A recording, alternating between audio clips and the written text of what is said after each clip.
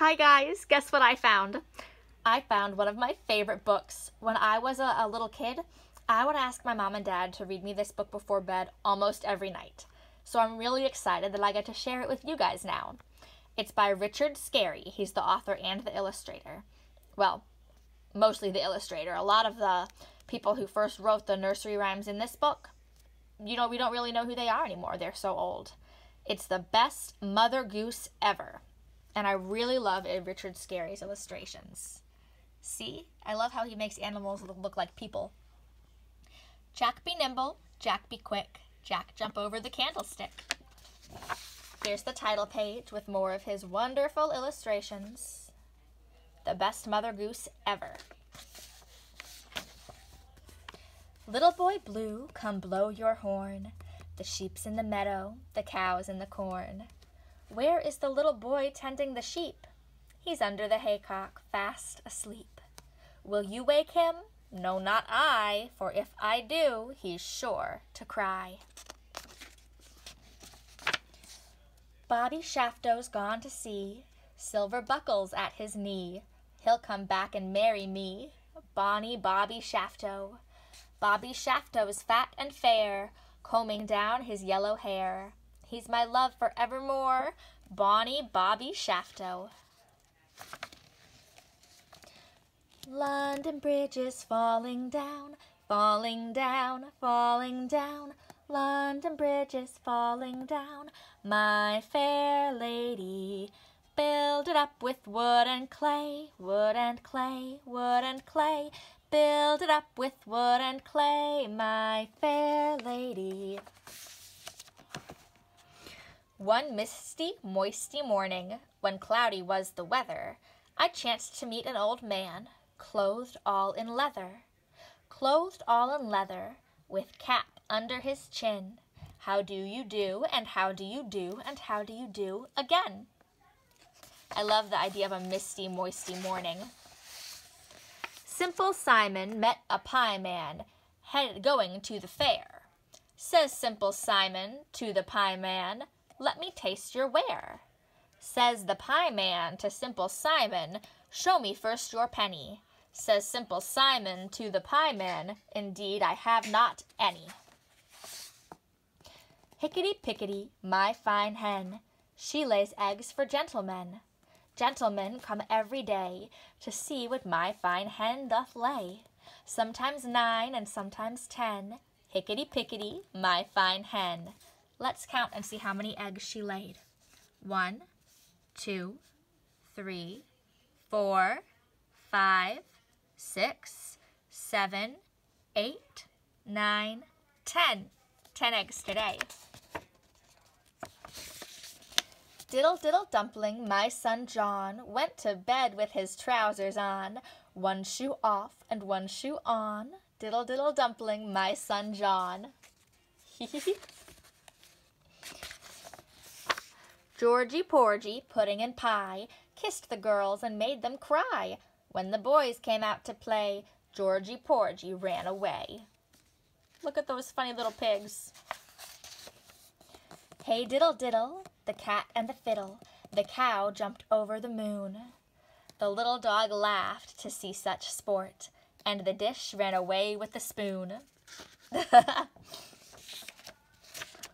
Old Mother Hubbard went to the cupboard to fetch her poor dog a bone, but when she got there the cupboard was bare, and so the poor dog had none. She went to the grocer's to buy him some fruit, but when she came back he was playing the flute. She went to the hatter's to buy him a hat, but when she came back he was feeding the cat. She went to the tailor's to buy him a coat, but when she came back he was riding a goat. The dame made a curtsy, the dog made a bow. The dame said, Your servant. The dog said, Bow wow. ba ba, black sheep, have you any wool? Yes, sir, yes, sir, three bags full. One for my master, one for my dame, one for the little boy who lives down the lane. Baba Black Sheep, have you any wool? Yes, sir, yes, sir, three bags full. There's a little boy who lived down the lane. Polly, put the kettle on. Polly, put the kettle on. Polly, put the kettle on. We'll all have tea. Suki, take it off again. Suki, take it off again. Suki, take it off again. They've all gone away. Look at that big, big family. Elsie Marley is grown so fine, she won't get up to feed the swine, but lies in bed till eight or nine, lazy Elsie Marley. Oh my goodness, look at that big family of swine. One of them's trying to have a pillow fight. One of them is, oh, some of them are playing instruments to wake her up. You can see the clock saying that it is, let's see, nine o'clock. She needs to wake up. These ones are all getting dressed. These ones are listening to their record. Uh-oh, there's the babies that are crying. This one is still getting dressed and reading a book and riding a bike and setting the table and making some noise with the pots and the pans. And look at all the food! Swine is another word for pigs. If you couldn't guess, you could guess that from all the pictures of the pigs. Old Mother Goose, when she wanted to wander, would ride through the air on a very fine gander. A gander is a boy goose. Rub-a-dub-dub, three men in a tub, and who do you think they be? The butcher, the baker, the candlestick maker, turn 'em out knaves all three. Look, I bet he's the butcher, and he's the baker, and that is the candlestick maker, because he has the candlestick on his head. to market, to market, to buy a fat pig. Home again, home again, jiggity jig.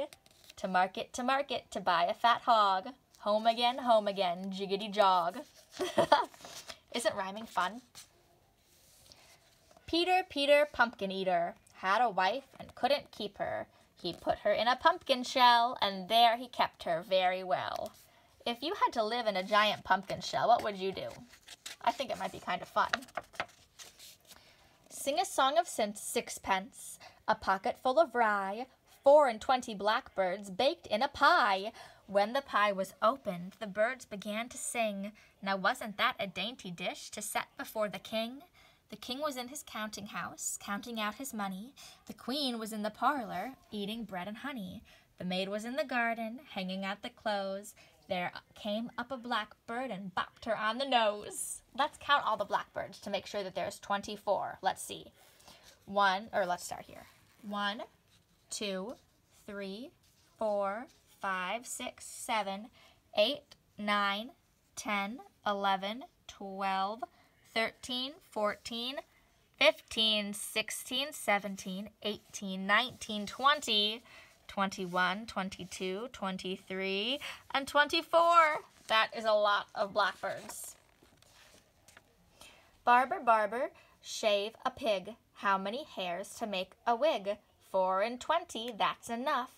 Give the barber some of that stuff. Look at that, funny. Barber with his hair and the pig. I love that.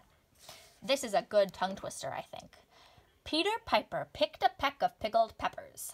A peck of pickled peppers Peter Piper picked. If Peter Piper picked a peck of pickled peppers, what's the peck of pickled peppers Peter Piper picked?